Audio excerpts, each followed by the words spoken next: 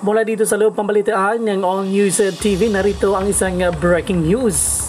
Itong uh, Cessna Plane 152 na nawawala ay natagpuan na sa bandang uh, Apayao. Narito ang buong detalye. Isang uh, crash site ng uh, Cessna plane or 152 sa Apayao matapos itong dalawang araw na, nagha- na paghanap natagpuan na ang wreckage ng Cessna 152 plane na bumagsak sa boundary ng Barangay Salvacion, Luna at uh, sa San Jose Padol, Apayao.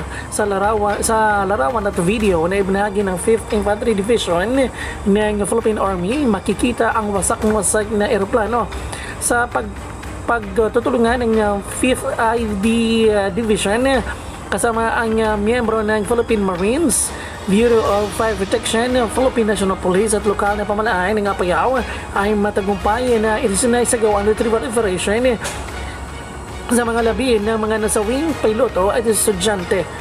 Ang Cessna 152 plane ay may body number na RP-C8958 ay umalis sa Lawag Airport kung saan noong Martes noong August 1 at patungo ito sana sa Tugigaraw Airport. Patungo ito sa Tugigaraw Airport. Pero hindi ito nakarating sa kanyang destinasyon. Napagalaman yung biyernes sa report ng Cagayan Provincial Information Office at tagpuan na nila ang lokasyon na bumagsak na Cessna plane matapos nakarating na sa mga na, na, matapos nakarating na mga rescuers sa naturang cross site. At nakita na rin ang dalawang bangkay at dalawang sakay na naturang Cessna plane.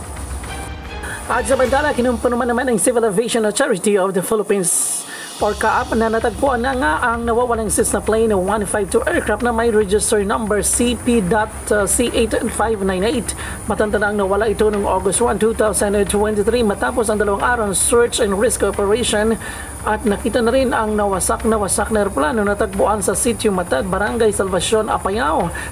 Sakay nito ang wala ng buhay na piloto at isang Indian national student kinilala ang uh, kapitan ng uh, nasabing uh, Cessna plane na si Edsel Jan Lumbao Tabuso at estudyante nitong uh, Indian National na si Ashum Rakumar Kunda. Sa ngayon ay uh, dinala na sa Villamor Air Base ang bangkay ng dalawang uh, namatay sa plane crash. At yan ang pinakauling ulat o update sa naturang pagbagsak na isang Cessna plane dyan sa lugar ng Apayao.